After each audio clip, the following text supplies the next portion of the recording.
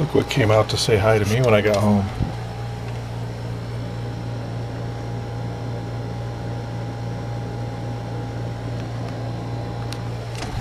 Bug. Big old bug. I was going to come over here and uh, start stripping down this Waukesha for the salvageable parts. It's got a good fuel or an injection pump and all that stuff on it. Turbo's decent, maintainable. Uh, it's got a thrown thrown rod, um, busted a hole in the block. I'm sure it could be repaired by somebody who cared to do that, but I just mostly want to uh, strip it down and sell the salvageable parts off of it. They don't, I don't think you can buy, no, you can't buy parts for these anymore or anything like that. So, um, the company, I can't remember the company who bought the Waukesha diesels. This was diesel engines. This was like a, a stationary application for a garbage pump or something like that. Anyway, a little four-cylinder turbo diesel, um, but you can't you can't buy parts um, new. So they'll sell you a replacement engine for sure and take this in on core, but they won't let you do new stuff. Anyway, I was getting ready to come out here and do it, and then I found these. And uh,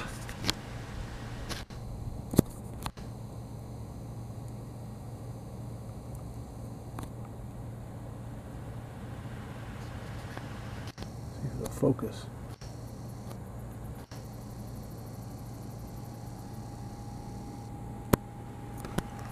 I don't think I want to mess with them.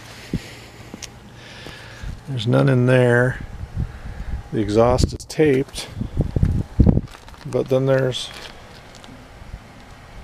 these guys. And lots of spiders. Those don't really bother me. So I'm thinking there's none in here either. Anyway, I'm thinking I'll wait until it cools down and spray those guys and kill them and then uh, go from there. It's kind of a bummer because I wanted to get that thing tore down and get part of my garage or my driveway back.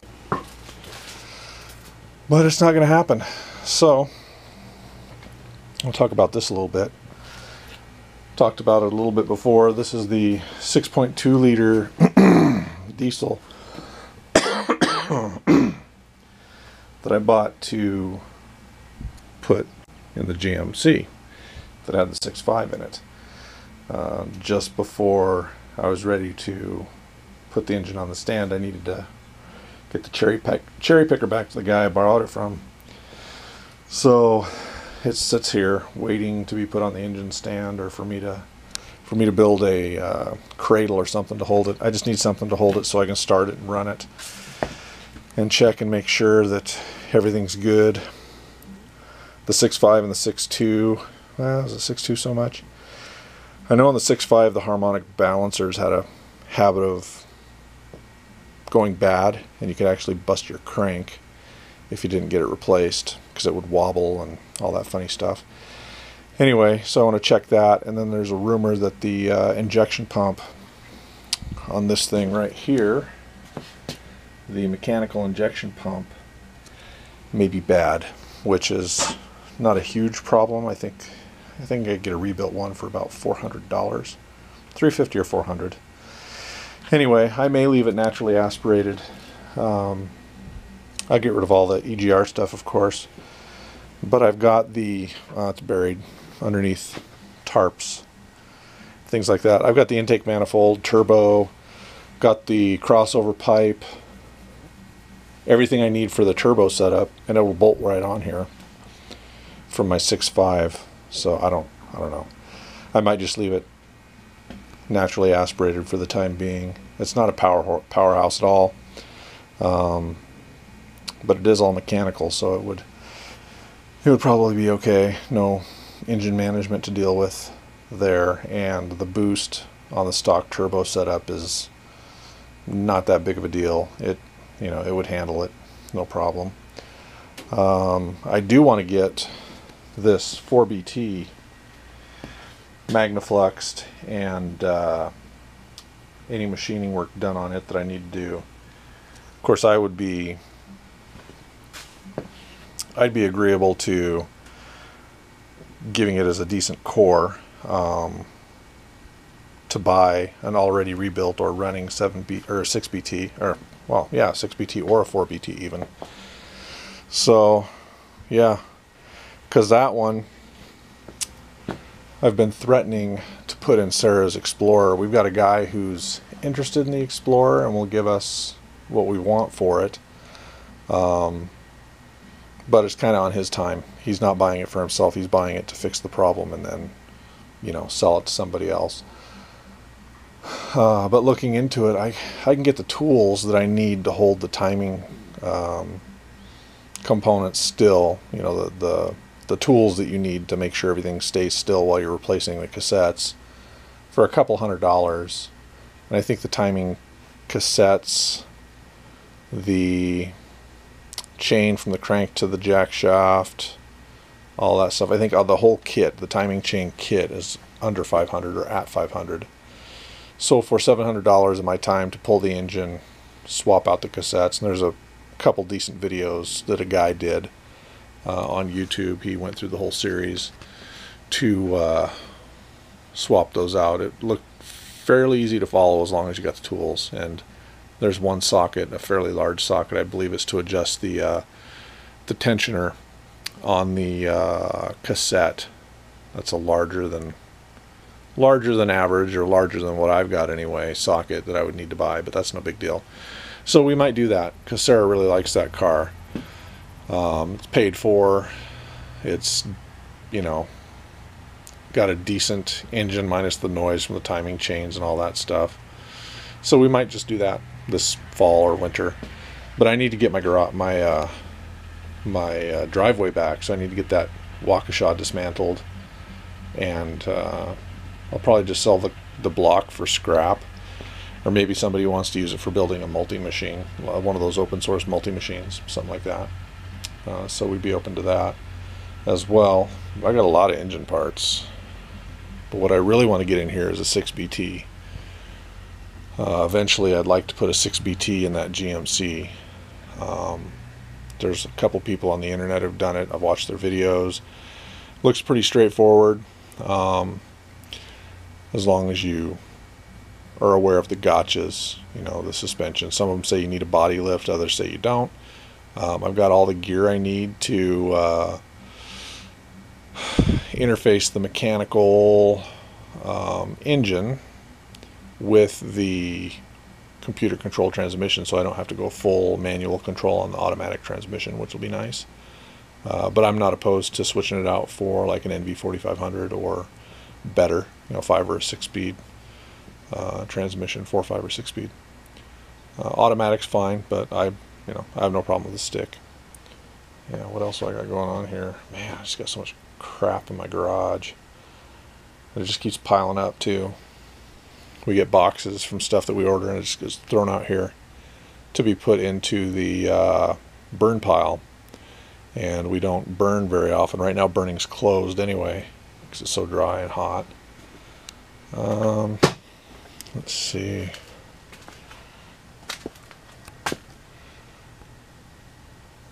Probably get rid of my reloader or at least put it up. I don't use it. I actually have it mounted to this uh, the table on this Sawsmith that doesn't have the motor in it or anything like that.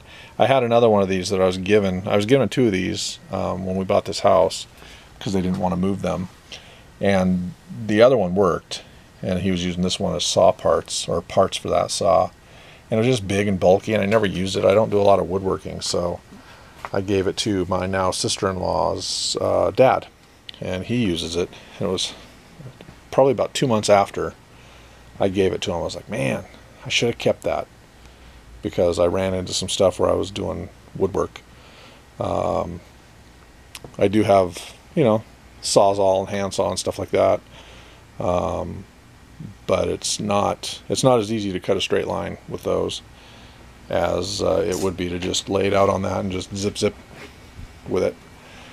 We've got these old uh, dog-eared cedar fence posts or fence boards for maintaining our fence outside, which I'm planning to get rid of.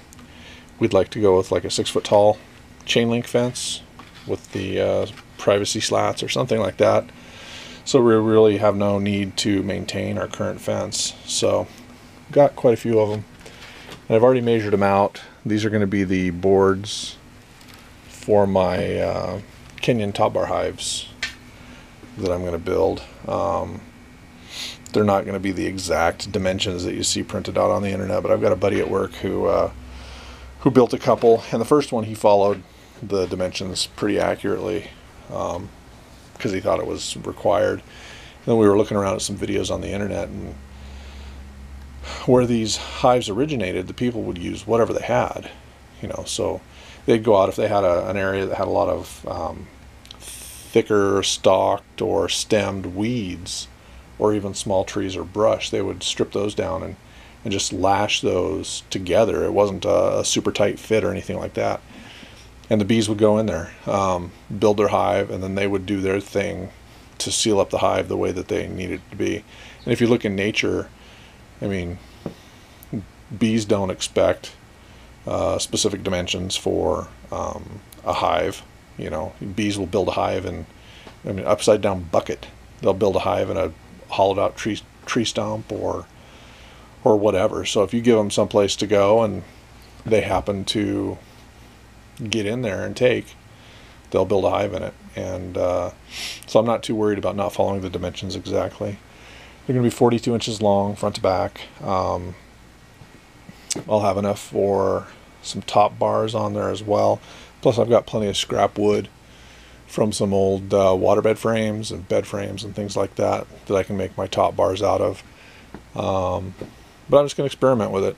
Uh, get some bees next spring I doubt I'd be able to capture a swarm this year. Uh, maybe this fall, but I don't know. I don't know if they'd winter well. I might have to keep them in my garage. But who knows? I'm going to try it because I'd like to get some, uh, eh, probably two or three, maybe four hives here at my house. Um, so the second or third year we could start getting some honey off of it, some local honey. And then also, um, there's a lot of people that garden in the area, so the bees will help out with that. Not that there's any issue with people's gardens growing around here. They back in the alley here, we've got somebody who's got a they're one house down, but across the alley from us in the back, and uh, their garden is amazing. Looks pretty awesome.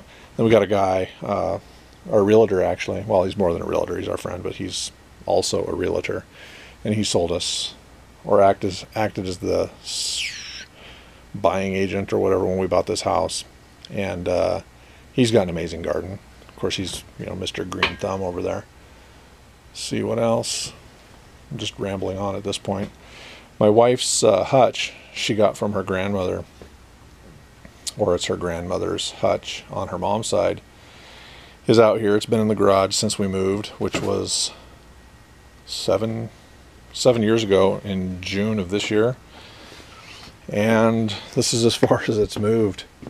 I moved it out of the way um, when I was taking that 6.5 apart and I needed some room here uh, for this and also for the, the weight bench.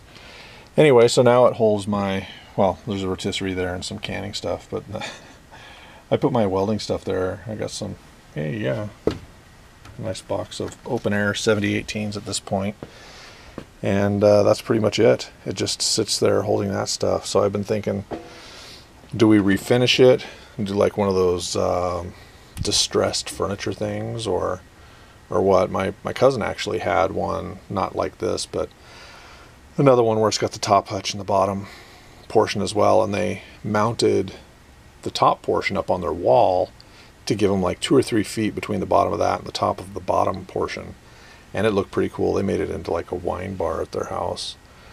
We don't drink, but uh, you know, I don't know if Sarah would be interested in something like that, but I just can't, I can't see getting rid of it. We did try to sell it one point for, I don't know, just like a hundred bucks to get it out of here, but um, we didn't progress it or we didn't pursue it very aggressively.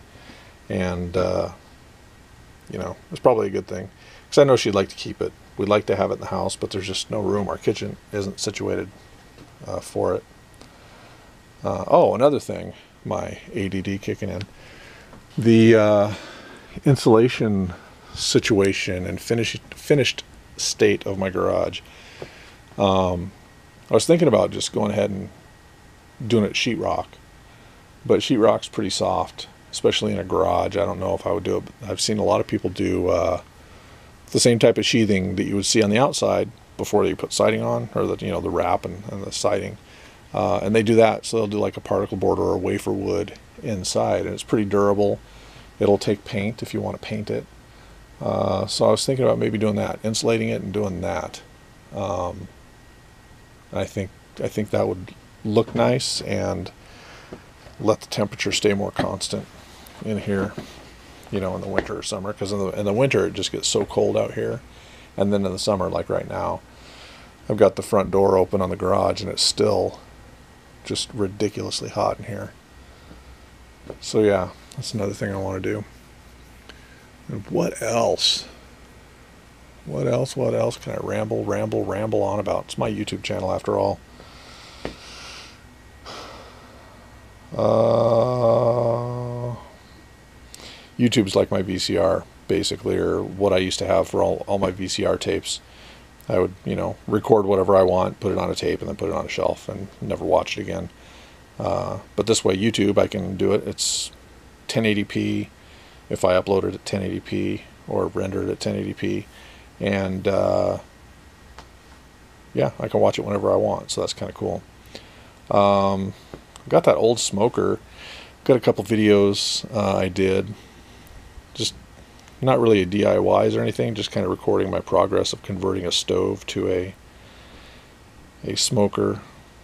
It had some oil spilled on it. So I was a little bit leery about actually using wow. Actually using it to smoke anything so I checked it out. And uh,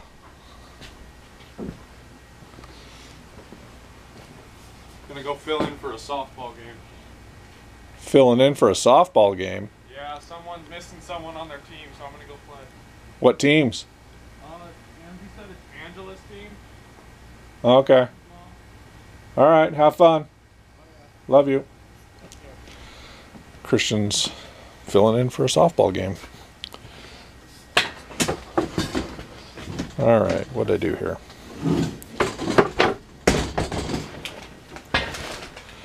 Anyway, I was able to check out this thing and no oil got inside. And what it was is I had uh, some oil um, from an oil change I did and I set the container on top. My fault for doing that. But then somebody came out here and knocked it over and didn't bother cleaning it up. Anyway, so I still got the smoker. Um, I ended up scrapping the the whole idea of using the oven elements because they were just too slow, excuse me, and not reliable enough. So it it's essentially a hot plate. There's a hot plate wired. Well, it's a top. One of the top elements. Um, sitting in one of the burner holder things. The annoying pieces of tin or aluminum that you have to uh, take out and wash all the time because crap gets down there. Anyway those are uh, one of those